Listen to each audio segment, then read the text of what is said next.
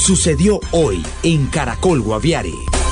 El obispo de la Iglesia Católica en San José del Guaviare, Nelson Jair Cardona Ramírez, dijo que destinó tres sacerdotes para hacer acompañamiento al proyecto de paz total del gobierno de Gustavo Petro. Por parte del Guaviare, yo tengo una comisión de tres sacerdotes a la espera de que nos digan si se necesita desde el territorio hacer algún acompañamiento. Estamos listos para hacerlo, pero todavía no hemos recibido las instrucciones del caso.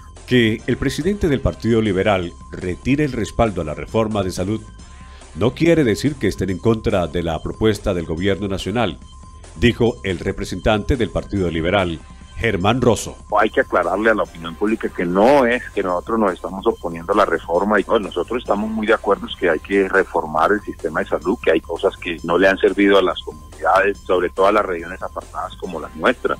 Y no iremos a apoyar si siguen creando algunas cosas de las cuales el Partido Liberal no está de acuerdo. El director regional de Invías Meta, Orlando Ortiz, habla sobre la convocatoria de las juntas comunales en el departamento de Guaviare para el mejoramiento de las vías terciarias en esta región. Estamos invitando a todos los presidentes de Junta de Acción Comunal para que se acerquen el día viernes al archivo departamental en San José del Guaviare. Allí los funcionarios del Instituto Nacional de Vías que van a estar presentes les van a apoyar en el diligenciamiento del formulario con el cual pueden postular las obras en un tramo vial que esté dentro de su jurisdicción.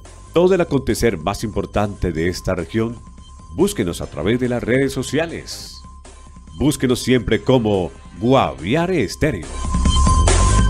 Hoy por hoy Guaviare, de lunes a viernes en Caracol Radio 102.3 FM.